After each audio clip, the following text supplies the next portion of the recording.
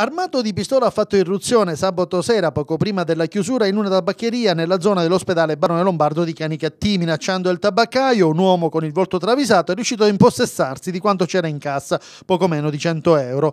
È stato però disturbato perché, qualora avesse voluto rovistare e cercare alto da portar via, ad impedirglielo è stata l'inconsueta e inattesa reazione dell'esercente commerciale e il tempestivo arrivo con tanto di sirene di una pattuglia della polizia. Il criminale, un giovane, è dunque è immediatamente fuggito con in tasca un bottino magro, ma è riuscito a dileguarsi e senza lasciarsi tracce dietro le spalle. Ad occuparsi delle indagini, dopo l'intervento fatto sabato sera, è proprio la polizia. Un intervento, quello degli agenti che non è passato, visto che c'erano anche le sirene accese, inosservato a tutti coloro che si trovavano anche solo a passare dalla zona.